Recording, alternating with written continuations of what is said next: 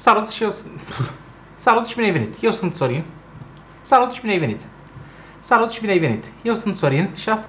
Salut și bine...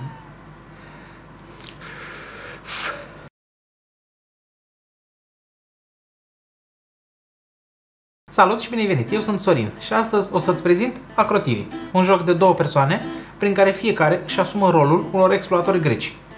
Ce trebuie să faci este să construiești temple care la final îți vor da puncte. Cine are cele mai multe puncte, câștigă. Jocul este compus dintr-o tablă centrală numită Insula Terra, tile cu bucăți din uh, harta pe care trebuie să o construim, două seturi de uh, temple și bărci cu câte un player board pentru fiecare jucător, uh, bănuți, resurse, uh, fier, lemn, foc și apă.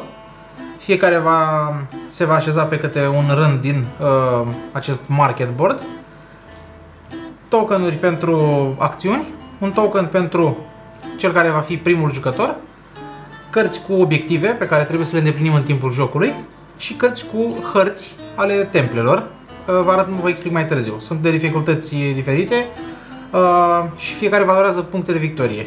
Uș, cărțile, hărțile ușoare sunt un punct, mediu 3 puncte și cele mai dificile valorează 7 puncte. Prima dată plasăm placa cu insula Terra în mijloc, astfel încât să fie destul loc în jurul ei, pentru că taidurile cu hărțile cu mini insule, bucăți din insule, sunt destul de mari și e nevoie de spațiu. Pe masă, undeva cu acces rapid către ambii jucători, plasăm market board-ul împreună cu uh, fiecare resursă plasată pe câte un spațiu uh, destinat culorii, culorii ei.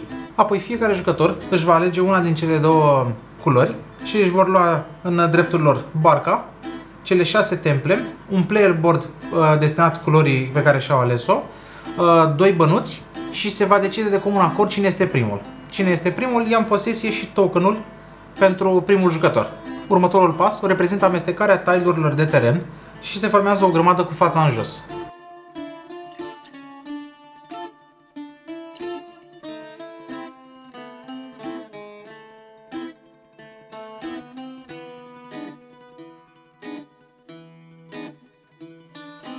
Apoi se va trage primul tile, se va atașa insulei uh, Terra din, din centru și se va replasa pe ea două resurse. Una este deja desenată într-un colț și trebuie respectată culoarea uh, desenată pe uh, tile-ul respectiv și o a doua resursă pe oricare din celelalte trei uh, colțuri rămase poate fi orice resursă dorești tu. Următorul lucru reprezintă amestecarea hărților uh, templelor, fiecare individual, fiecare grămadă individual, cea de uh, hărțile ușoare, medii și uh, cele mai dificile. Uh, la începutul jocului, fiecare jucător va primi câte două hărți, una medie și una um, ușoară, iar restul uh, se vor pune uh, pe marginea uh, mesei pentru a putea fi cumpărate în timpul jocului. A venit și rândul cărților cu obiective. Acestea se amestecă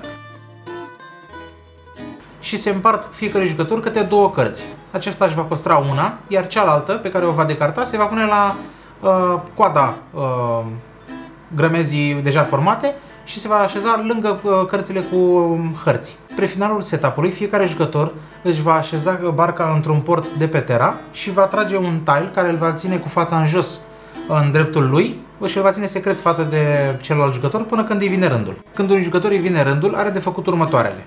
Prima dată trebuie să placeze tile-ul din posesie, să-l atașeze hărții deja existente.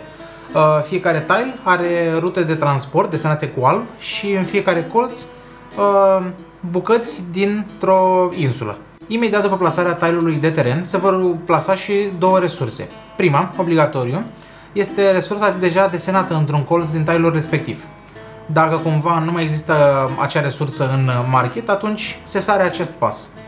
A doua resursă este, poate fi aceeași sau diferită de cea plasată inițial, și trebuie, dar în schimb trebuie plasată într-un colț diferit de uh, cea desenată, iar ambele resurse trebuie spuse neapărat pe tile-ul abia legat la hartă. În ambele cazuri, cuburile cu resurse trebuie luate tot timpul din partea stângă a marketului cu uh, resurse. Acțiunile. Numărul de acțiuni este dispus în partea de jos a fiecărui player board sub temple. Practic, cu cât descoperi mai multe temple, cu atât ai acces la mai multe acțiuni. Acțiunile sunt, prima ar fi Move. Bărcile se pot mișca pe hartă folosind rutele de transport sau porturile. Mișcările folosind rutele maritime sunt cele desenate pe hartă cu linii albe, iar mișcările din porturi uh, se referă la mișcările din uh, porturile de pe aceeași insulă. Atenție însă, o barcă goală, care nu are deloc resurse în ea, poate realiza o acțiune de mutare uh, din două mutări. Ce vreau să zic, fiecare, o barcă goală se poate muta practic de două ori, fie prin rutele maritime sau prin porturi. Dacă în schimb te-ai oprit să realizezi o altă acțiune, atunci acțiunea de mișcare s-a terminat. Mișcarea într-un port ocupat este posibilă, dar acest lucru te face să pierzi un, uh, una din acțiuni. În schimb, oprirea într-un port deja ocupat este imposibilă. Load sau încărcarea este acțiunea ce presupune încărcarea bărcii cu până la 3 resurse. Aceste 3 resurse pot veni de oriunde de pe insula la care ești andocat. Ca să excavezi un templu, trebuie să urmezi câțiva pași. Primul este să-ți duci barca pe, mm, într-un port al cărei insule vrei să uh, excavezi. Al doilea, să dezvălui uh, cartea cu harta uh, a cărei templu vrei să excavezi, orientată, pusă pe masă, orientată cu partea cu costul în sus. Să, și al treilea lucru, să confirmi uh, faptul că templul tău îndeplinește condițiile desenate pe hartă uh, și că uh, este cuprins între resursele desenate indiferent de cât de aproape sau departe sunt uh, resursele. Uh, pasul 4 este să iei un templu de pe player board, cel mai din stânga, și să-l plasezi în locul, uh, în locul în care ai dorit să excavezi. Atunci când iei un templu de pe player board, dezvălui un bonus. Dacă e vorba de numărul de um, acțiuni, acesta este aplicabil de tura viitoare. Dacă e vorba de uh, cărțile cu obiective, prin care spune să tragi două și să păstrezi una, acțiunea se realizează imediat. Sunt două reguli importante atunci când excavezi uh, un templu și anume nu pot fi excavate temple pe insula Terra și nu pot fi excavate temple pe o insulă pe care uh, e deja excavat un uh, templu, al tău sau al, al uh, oponentului. Totuși există situația în care uh, harta uh, are uh, două insule incomplete cu fiecare câte un templu și în timpul jocului harta se poate uni. Acest lucru este permis cumpărarea de hărți. Această acțiune se poate realiza numai atunci când ești andocat la Terra. Când ești cu barca într-un port de pe Terra, poți cumpăra câte hărți dorești și poți să alegi dificultatea lor. Poți să ai oricâte cărți cu hărți în mână, uh, nu ai o limită la, la acesta, ele costă în schimb bănuți, deci ești cumva uh, limitat de numărul de bănuți pe care îl ai. Oracolul. Odată pe tură, ai dreptul să îți alegi uh, orice tile dorești. Uh, practic, spui cu voce tare ce um, tile dorești cu ce resursă și începi să tragi din uh, grămada cu fața în jos tile până când îl găsești. Când l-ai găsit, îl păstrezi în posesie, iar uh, cărțile cu terenuri se pun într-o grămadă separată de cartate. Dacă, în schimb, nu ai găsit tile pe care ți l-ai dorit, rămâi cu ultimul tile dezvăluit. Poți avea o singură carte de teren în posesie. Există în joc și câteva acțiuni gratis care nu se încadrează în numărul de acțiuni permise uh, și de acestea sunt uh, vânzarea de resurse. Uh, aceasta se poate realiza numai atunci când ești uh, andocat pe insula Terra. Practic, iei câte o resursă din uh, barcă și o plasezi în market pe locul cel mai din dreapta. Uh, apoi cu, faci același lucru și cu a doua și cu a treia resursă dacă ai și îți iei bănuții Uh, corespunzători pentru locul unde ai plasat uh, resursa ta. Și descărcarea resurselor înseamnă să descarci resurse pe o insulă, cu excepție uh, fiind insula Terra, pentru că acolo vinzi resurse. Poți să descarci oricâte resurse dorești pe oricare din insule din joc la care ești andocat, la care ești în port.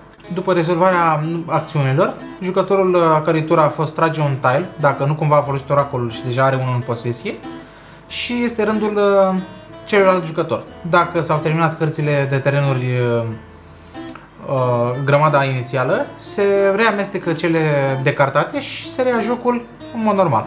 Odată ce un jucător a plasat cel de-al șaselea templu, sfârșitul jocului este aproape. Jocul este construit astfel încât ambii jucători să aibă un număr egal de ture. Dacă, de exemplu, primul jucător plasează cel de-al șaselea templu, înseamnă că jucătorul numărul 2 mai are dreptul la o singură tură și după aceea jocul se termină. Dacă, în schimb, jucătorul uh, al doilea plasează cel de-al șaselea templu, atunci, după rezolvarea acțiunilor, jocul se termină imediat. La final, fiecare jucător își numără punctele, considerând uh, cele trei elemente. Hărțile, cărțile cu obiective și bănuții. Hărțile presupune adunarea numărului de puncte din colțul din dreapta sus. Hărțile care nu au fost excavate și le ai în mână nu valorează niciun punct. Cărțile cu obiective. Dezvolui cărțile cu obiective și numeri punctele în conformitate cu ceea ce spun cărțile cu obiective. Și bănuți, la fiecare 10 bănuți primești un punct de victorie. La final, cine are cele mai multe puncte este considerat câștigător. Dacă există egalitate la numărul de puncte, uh, următorul pas uh, este luat în considerare numărul de bănuți uh, avuți în posesie. Dacă și acolo este egalitate, atunci jucătorii împart victoria. În regulament există și o secțiune specială numită extra strategie. Dacă dorești să modifici un pic setup-ul inițial, o poți face. Practic mai adaugi un pas și anume, alegi 5 cărți cu obiective și le plasezi lângă pe masă de joc, lângă, lângă hartă și plasezi cele 5 cărți alese cu fața în sus. Atunci când fiecare jucător își uh, va excava templul cu numărul 3 sau 5, uh, uh, aceasta își va alege una din cărțile expuse. Dar trebuie sărit pasul prin care sub templul 3 și 5 spune că tragi două cărți din, din grămadă și păstrezi una. La final de video, o mică rubrică cu întrebări frecvente. Ce am descoperit noi în timpul jocului și ce am mai căutat pe net și am văzut că sunt uh, întrebările frecvente adresate de mai mulți jucători. Uh, deranjat templul. Uh, mi-am notat, pe, mi-am notat puțin pe telefon uh, câteva întrebări și uh, răspunsurile lor. Prima întrebare. Dacă pot să țin o resursă pe o barcă și să nu o vând, ca, să o, ca mai apoi să o vând mai târziu la un preț mult mai bun. Da, poți face, doar că trebuie să ții cont că uh, o barcă care are o resursă pe ea nu este o barcă goală, și uh, o barcă goală poate face două mutări într-o acțiune de, de mișcare. Acum depinde de tine ce strategie vrei să, vrei să aplici. Întrebarea 2.